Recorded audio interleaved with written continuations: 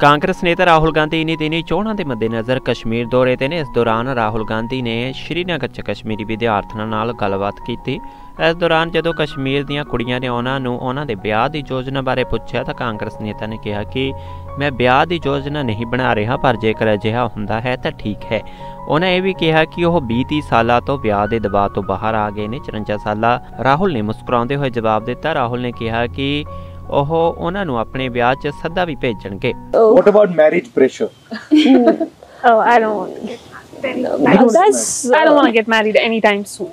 Are you talking about the society or a person? She's trying to get me into so, what do you think about that Basically, what are your thoughts? Pressure. I've, I've outlasted that pressure for 20, 30 years. Do you plan? I think it's a good thing. Do you plan on getting married? Yeah, I, I, mean, I don't plan it, but if it happens, so please do invite us that day. I,